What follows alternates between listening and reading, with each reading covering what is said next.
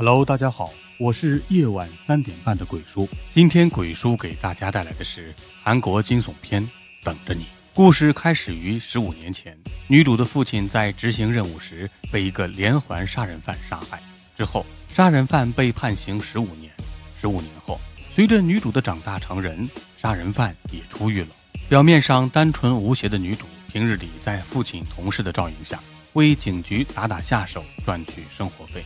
而实际上，女主从未忘记杀父之仇，就等着杀人犯出狱那天开始自己的复仇计划。当年父亲的手下也密切关注着杀人犯出狱后的一举一动，发誓要将杀人犯再次送进监狱。另一边，杀人犯出狱后的第一件事就是迫不及待地去嫖，把压抑许久的欲火在妓女身上发泄。一段时间后，妓女抱怨着回到了皮条客的车上，皮条客安慰着妓女，并下车为其买药。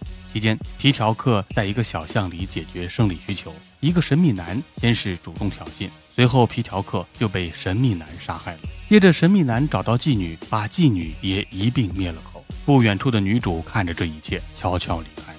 第二天，警察发现了皮条客和妓女的尸体，同时有人告密举报了杀人犯。警察以怀疑其杀人的罪名逮捕了杀人犯，然而因为证据不足，杀人犯被无罪释放了。离开警局时，杀人犯撞上了来警局的女主，并顺带把女主拉了起来。临走前，杀人犯特意看了看女主的工作牌，而女主则不动声色地掩盖了自己的身份。回去后，女主拼命洗着那只被杀人犯拉过的手，眼里全是对杀人犯的恨意。晚上，女主回家看到了被家暴的母亲。在家暴男出来后，女主两三下就把家暴男制服了，开始对家暴男一顿暴打。看来，女主为了复仇，早早的就练成了一身打架的技能。一大早，杀人犯在晨练的路上看到了家暴男的尸体，一个鬼鬼祟祟的黑衣人向这边张望。杀人犯发现了黑衣人，意识到自己正被栽赃陷害，立即追了过去。两人追逐一番后。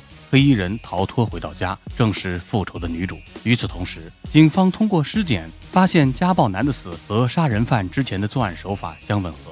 晚上，神秘男撬开杀人犯家里的房门，试图偷袭杀人犯，结果杀人犯早有防备。经过一场无声的较量后，神秘男被逼退。这时，女主父亲的手下再次找上门，神秘男在身后出现，察觉到身后的危险，千钧一发之际，手下身手敏捷地抓过了杀人犯当人质，接着转身举起枪，却发现神秘男早已不知所踪。第二天，因为家暴男去世，女主的母亲也跟着自杀了。手下继续不依不挠地找着杀人犯的麻烦。却因为找不到证据，被杀人犯一番嘲弄。另一边，女主研究着所有资料，猛然醒悟，真正的凶手其实有两个人。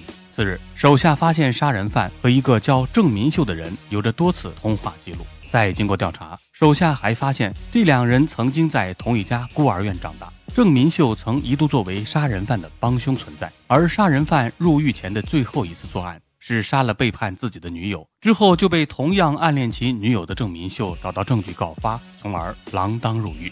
此时，从资料上的照片，我们可以知道，郑民秀正是之前出现的神秘男。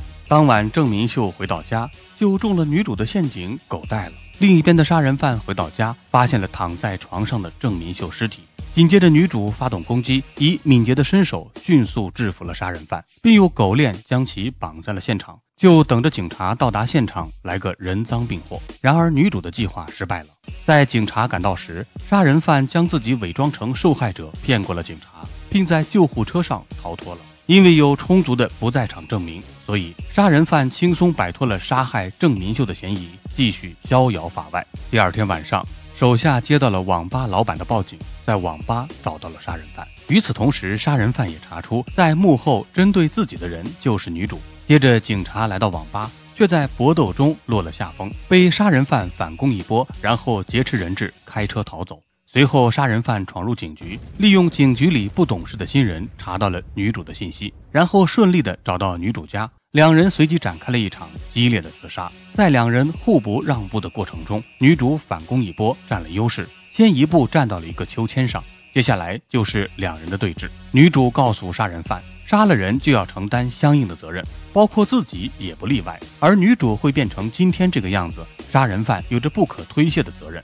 接着，女主掐准时间，当场在杀人犯面前上吊自杀了。此时，警察赶到，逮捕了杀人犯。最后，女主以牺牲自己为代价，完成了活下去的唯一目标。杀人犯的杀人罪名成立，被成功判处了死刑。故事的结尾，手下在女主的房间里看到了女主为了复仇所做出的种种努力，不由得想起了女主说过的那句话：“邪恶能够胜利的唯一条件，就是善良的人无所作为。”好了，电影到这里也就结束了。